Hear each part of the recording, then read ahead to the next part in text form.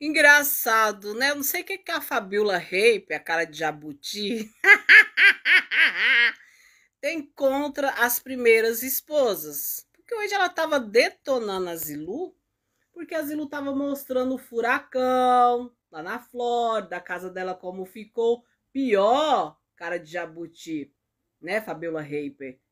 Isso mesmo. É quem fica mostrando fazenda, gado, boi, vaca, pintinho, sendo que não é dona do imóvel, né? Que a primeira é a única, o resto é genérico, é genérico.